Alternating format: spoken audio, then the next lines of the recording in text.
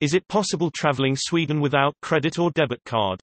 I've heard that in Sweden Stockholm, Gothenburg, you can only pay for public transportation by credit, debit card, or some crappy app.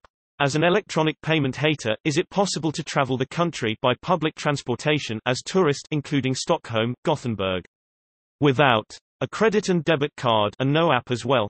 I mean, the Swedish krona is a state-recognized means of payment, so if I come with cash, theoretically they are legally obliged to accept it and can't really refuse to sell me a ticket, or can they? I'd go to the store Pressbyrån and get a prepaid debit card to use during the stay. Using cash will be hard, many places don't accept cash. It will also be much more expensive. If you only want to use cash you will have to plan your trip very well so that you know what places accept cash.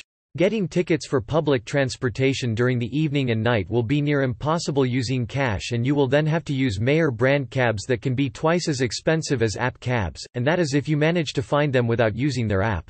You will also most likely have to use manual checkouts which will make you spend time in queues, time you could spend doing other things. If the stores have self-service checkouts that accepts cash it's just one machine. You will barely be able to order food delivery as very few couriers bring cash.